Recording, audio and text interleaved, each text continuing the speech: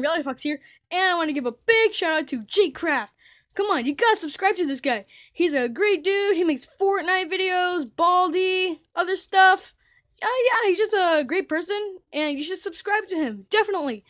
Uh, yeah. So I just want to give a big shout out to him because because he's on a rivalry with uh, another YouTuber, and he's desperate for subscribers. He only has like thirty something subscribers, and yeah, he needs subscribers because in a rivalry, and that's not the only reason. He's a great guy and a great Fortnite player, probably better than me.